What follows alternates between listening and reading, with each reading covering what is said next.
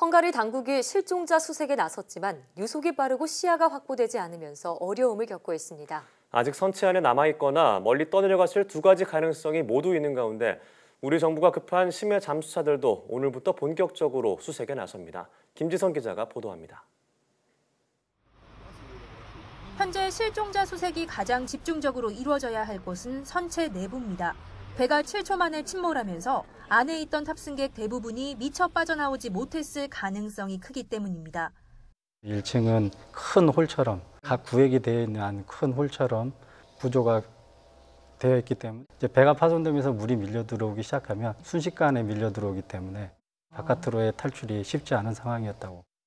하지만 사고 직후엔 어둠으로 수중 시야가 확보되지 않았고 날이 밝자 잠수부들이 본격 투입됐지만 빠른 유속이 발목을 잡았습니다.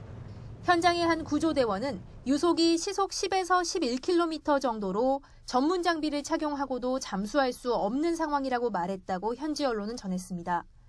정부가 우리 해군 심해 잠수사 작전대원을 급파한 것도 이런 상황 때문으로 보입니다.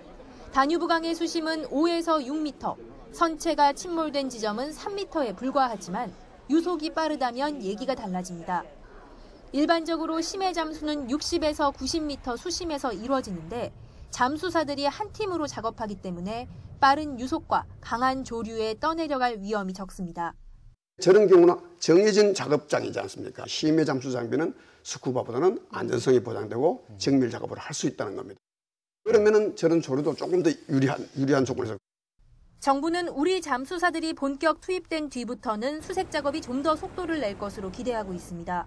또 일부 실종자는 빠른 유속에 이미 멀리까지 떠내려갔을 수 있어 다뉴브강 유역 주변국들에도 수색 공조를 요청했습니다.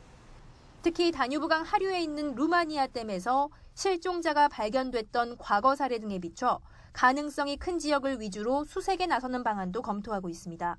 YTN 김지선입니다.